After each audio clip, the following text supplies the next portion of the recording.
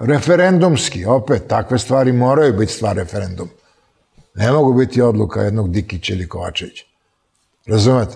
Dakle, hoće li referendumska misao u Srbiji jednog trenutka biti da se Srbija preključi Evropskoj uniji, nek se preključi.